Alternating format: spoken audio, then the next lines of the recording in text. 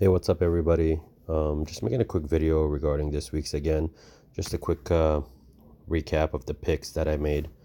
Um, so this is an NBA ticket I won um, with my buddy.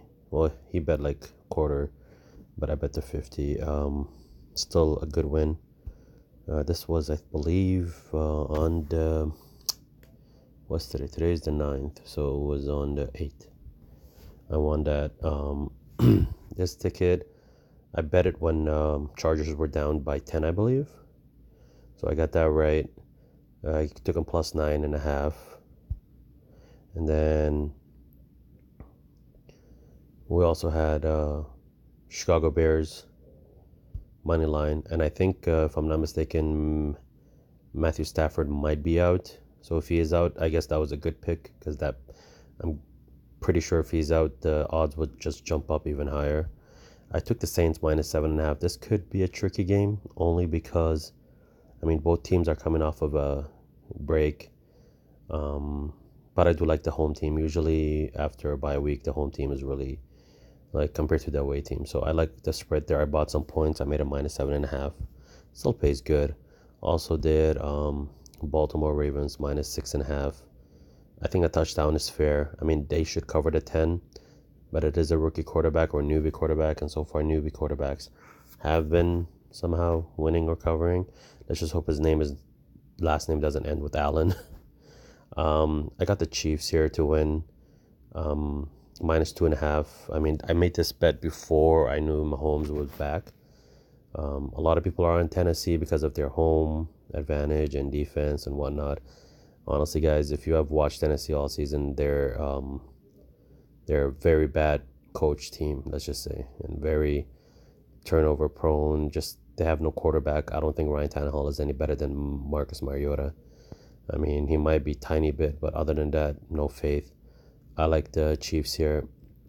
I also took the Rams here, money line, but after looking at some stats, um, excuse me, I see that uh, Rams haven't won in uh, Pittsburgh since 2011 or 2007, if I'm not mistaken. Um, based on that stat, um, I mean, since I have this ticket already, I might do like a Steelers. Actually, I am doing a ticket with Steelers plus nine. The spread is four plus nine. I think still pays well. Uh, if I do hit this ticket, and let's say I'm just hedging the Pittsburgh game, I should still win uh, 600 bucks hopefully. Uh, these games I like everything. I might just wait for the Rams game. I'm just praying they go up 17 nothing early, and you know Pittsburgh comes back or whatever and covers the spread. Um, but if they go up 17 nothing, as you guys know, I don't know if you guys know this, but on Bet365, if NFL, if a team goes up 17 nothing and you pick the money line, you get early payout. Meaning even if the other team comes back, it doesn't matter if it won't affect your pick. Uh, okay, and this pick was tonight. Me and my buddy made. Um, we went halves. Uh, we took Boston plus eight. I mean, we could have even taken money line, but we rather be safe than sorry. Uh, we took Mavericks money line. Um, we took Pelicans plus four. They actually won. I, I, I had a feeling they were going to win. I just rather play it safe. Um, I, I, if you guys know me by now, listen to my podcast, I always like to play it safe. I also took Houston minus three and a half here. Um, uh, they blew out Bulls, so Chicago Bulls.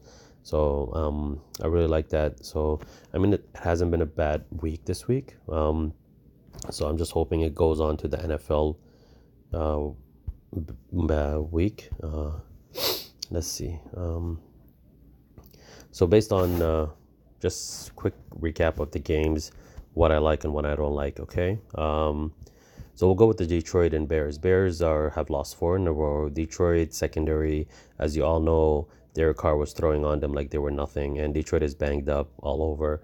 And if Matthew Stafford is out, I like Bears here by, I would say still minus two and a half or money line. I mean, eh, the spread might go up to seven if uh, Matthew Stafford is out. if he is out, excuse me. Um, I might still go with Bears. Honestly, I think this is a game where they come out, and you know Detroit usually play play in the dome, and now you know in Chicago might be a little bit cold, so it might affect the players, I think. Next game is Ravens against uh, Bengals. Um, I like the um, Ravens here to win. are they coming off? No, they're just coming off a big win against New England. They might come. I just hope they don't underestimate Bengals just because they beat New England and Seattle. I hope the coach keeps the team in check. You know, like don't let them overthink. Just like the way Bears thought. I'm sorry, Chargers thought they can just go to freaking Oakland and win. Uh, good for Oakland still. Um, I mean, I still don't know how Green Bay lost to Chargers but I'm pretty sure they're gonna be upset, and I'm gonna get to that point um, later on. So I like Ravens here to cover the spread, but like I always say, I always play it safe. So I'll go minus six and a half. A touchdown would be fair. I think that's what they won by when they played each other, or was it six? So you could go minus six if anything to be safe. Um, next, uh, Buffalo at Cleveland. Buffalo is four and one based on the stats here against Cleveland, but this is a must-win game for Cleveland. I mean, I don't trust Cleveland I mean, I wouldn't touch this game, and I'm not on my tickets. If you could see, I haven't bet them actually just yet. If I have to choose, I'm going Cleveland. I mean, they're getting uh, Hunt, uh, Kareem Hunt now after the suspension, so I mean, this could be a game they will. And Buffalo, I don't trust the offense at all. Like, I mean, if Cleveland's defense plays just a little bit better than what they did in um, um where was it in Denver, I think they could win this game just because Buffalo's offense has been horrible unless Josh Allen finally wakes up and shows the world what he is. I mean, this game you could go Buffalo plus seven to be safe. I think it will be um, a lot of uh, running the ball, a lot of screenplays. Uh, Buffalo's defense is really good. Don't get me wrong. Are they coming off of bye, Buffalo? No. Um, this is a tough game. I'm not gonna touch it myself, but if I have to choose, I take Buffalo plus seven or Cleveland money line just because. I mean, they've been screwing everybody up for the past what was it nine weeks. Cleveland, that is. So it's a game I recommend you don't touch. But if I have to choose, I go Cleveland money line, Buffalo plus seven. Okay, uh, Saints against Falcons. I think both are coming off of a bye. Yep. Excuse me. I usually don't like away teams off of a bye. So hence I had Saints if you saw my ticket minus seven and a half. I think Saints will cover the spread. Uh, like don't be shocked if they do. Uh, this they played this same game last year. I think it was around this time of the year too, if I'm not mistaken. And Saints were favored by 14, if I'm not mistaken. And at that point, Atlanta offense was as healthy, if not actually as this year. And um, this year they're horrible if you think about offense and defense. And if Saints hopefully they don't come out rusty. They should cover this game easily. So I mean, you could always go minus nine and a half to be safe. Ten points is good, but I think Saints will blow out this team. It's a division game. They're not gonna go easy on Atlanta. Uh, Giants against Jets. So a lot of people think I don't know why they think Giants is playing away. They are not playing away. They're playing in the same stadium, so they haven't done any traveling to be honest. They lost the game against Dallas, and now they're home basically, playing a home away game, whatever you want to call it. Uh, I like Giants here, man. If you saw how they played against Dallas, they look uh, like they look like a team going up the right way. And Jets, all I gotta say is Miami. You know what I mean? The coach, everything, and you go against Miami and lose to Miami. I'm sorry, but I'm taking Giants here. You could either do Giants money line or you could do Giants plus three if you like, or even minus three, whatever. I just can't see Jets winning. I mean, if they do, then the Giants are shit as we uh, assumed they were going to be earlier in the season. But I don't think they will lose this game. Um, and Jets is kind of banged up, if you ask me. Like they're up. Uh, I don't even know if Bella's out or not. Let me see. Says he's playing. Okay. Mosley is out. Yeah, that defense is banged up. I, I I'm pretty sure none of these guys are coming back till the end of next year. This team is going down uh, turmoil. Mm-hmm. I like the Giants here. Um, Tampa Bay against Arizona. So if you guys have watched uh, any of the games um, Tampa Bay has played against um, NFC West, mm-hmm. they have won by, I mean, they haven't won, but they have scored a lot of points. And if Arizona planning to run the ball, Tampa Bay's, uh, let's see their defense rank against the ball rushing yard. They're first. That's how good they are. The defense against the running game. They're number one. So Arizona better be passing the ball a lot if they want to win this game. So, Mr. Kyler Murray, if you believe in him, then you know what? You could take Arizona to cover or you could buy points to be safe. But I like Tampa Bay here to win. I like the money line here. Spread, I'll buy some points, maybe minus two and a half to be safe. But I see Bruce Arians taking revenge. I've seen Bruce Arians almost beat Seahawks, uh, beat the Rams. And um, did they play uh, San Francisco? They did, right? Hmm, let me just see. And that game was close too, if I'm not mistaken, right? Yeah. Oh no. They got their ass whipped by San Francisco. But that was at home, and they haven't been really good at home. Um, they they play better away for some reason. I don't know why. But based on um, uh, matchups, I like uh, Tampa Bay to get their first win of the year at home. Uh, it's been what I think six games or five games they haven't won at home. That includes last year. Um, this is a game they should bounce back. Um, Chiefs against Tennessee. Um, I predict.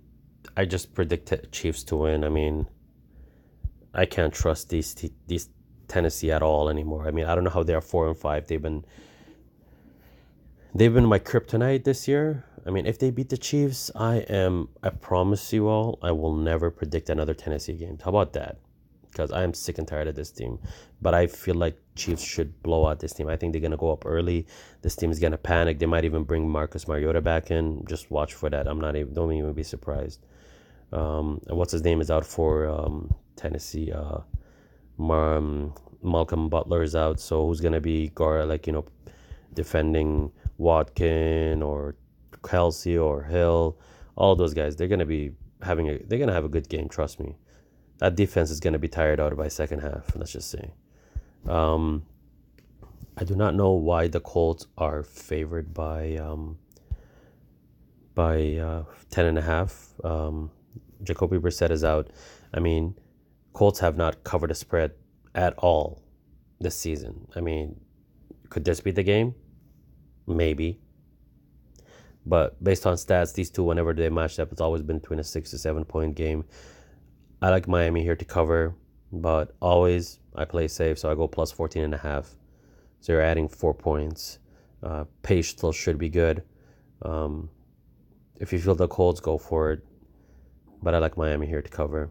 Um, Green Bay against Carolina. I mean, if Green Bay plays anything like they did against the Chargers, I'm gonna be flipping shit. Um, I think Green Bay wins this game. They're at home. After that showing against uh, Chargers, I feel like they could win this game. Um, and based on some stats, uh, when Carolina doesn't get any turnovers, they are zero and three, and Mr. Aaron Rodgers is pretty good at, you know, protecting the ball. So I hope if he doesn't throw an interception, Green Bay wins here. Spread could be a little iffy, I think.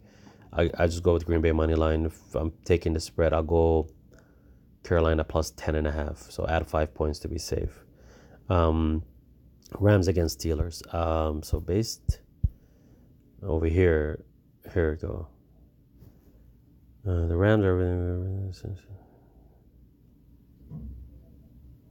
So the last win for the LA Rams was in 2003. They are one and five in their last six trips to Steel City. Um, excuse me. I like Rams defense is really good, but so is Pittsburgh. And I th- I don't know how the weather is in Pittsburgh tomorrow, but if it is cold, the defense is like it's gonna be a running game, and that means it could be a low scoring game. It could be um. Could be a low scoring game. It could be um. Like a lot of punts. That's what I see. Um, I hope not because I have Cooper Kupp on my fantasy and I need damn points. So I'm praying he goes nuts. Um, I think Rams should win this game just because of the offense.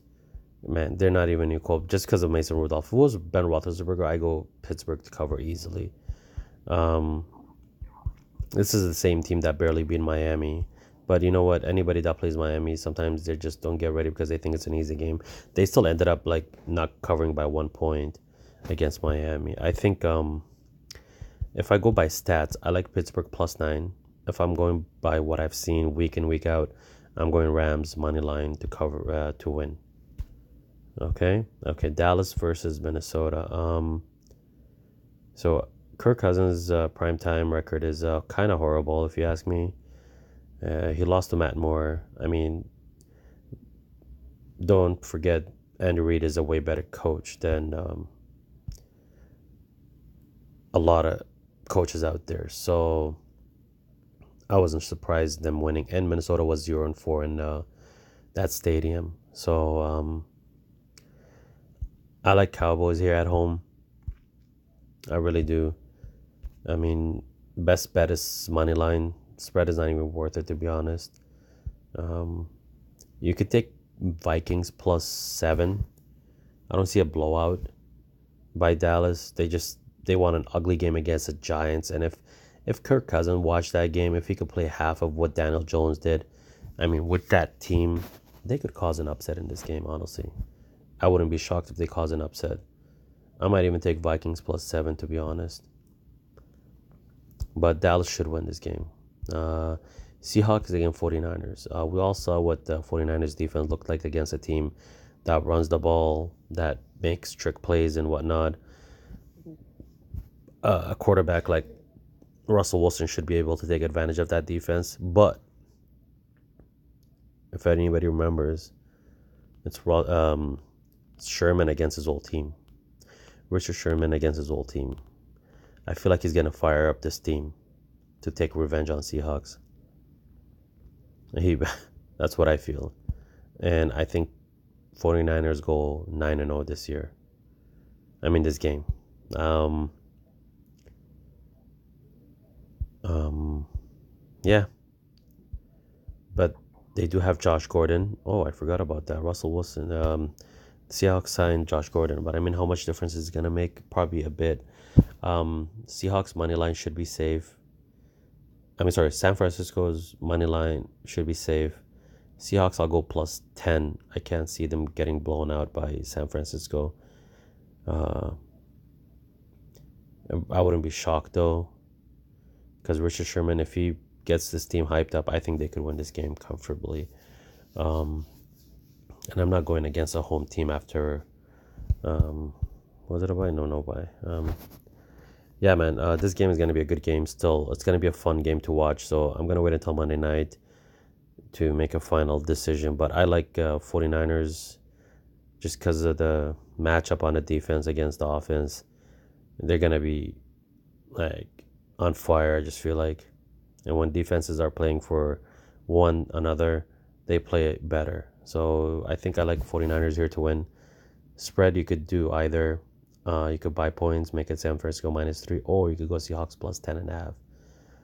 Um, Seahawks been on a roll still, but who have they beat? Nothing special, to be honest. Um, yeah.